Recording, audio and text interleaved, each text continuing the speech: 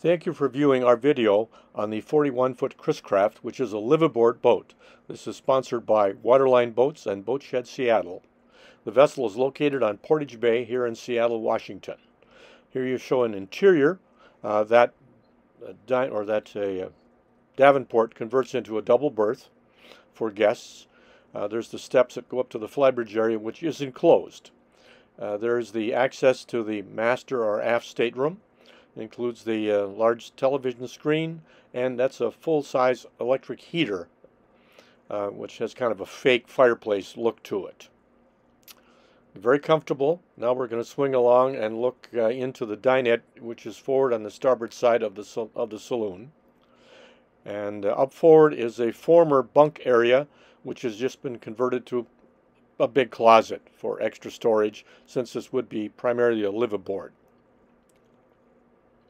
Now we're looking into the galley. It's a full-size refrigerator freezer, microwave, uh, and a three burner with oven propane unit. All in very good condition. Well maintained vessel.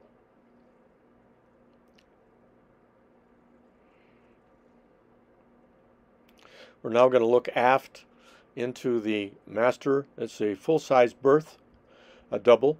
Uh, a little view here of the Portage Bay. So looking out from the master stateroom, uh, you can look out onto Portage Bay. Then we're going to take swing back and take a look through the windows. That door does open for summertime use and access to a very comfortable aft deck. Deck chairs are included in that. That's the lower deck. Now here we look at, uh, there's the door to the head, head shower combination, hanging locker, lots of storage. There's some open storage bins and then a big bureau uh, at the foot of the berth. You can see there's the steps up into the saloon. And now we're going to look and swing into the head.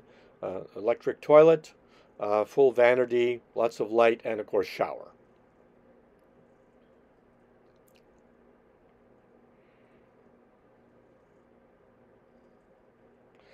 Now we're looking uh, into the steps up to the flybridge, which is fully enclosed with electric heat.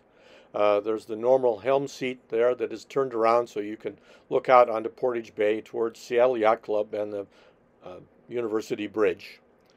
See the teak and holly or teak parquet floor. Uh, again, another view. Uh, this is a great place to live, and it's really the boat is really set up for that with um, moorage for liveaboards, which is highly unusual to find available. I think the rate is around $1,000 a month, which is pretty much in line. Here we have uh, all these chairs go with it. There's the normal helm chair in the center, and then two very comfortable deck chairs go with the boat. A little shot here of the helm. I will comment that uh, this has one operating engine. The other engine is not functional at this time. Thanks for viewing our video on this liveaboard here on Lake Union, Seattle, Washington.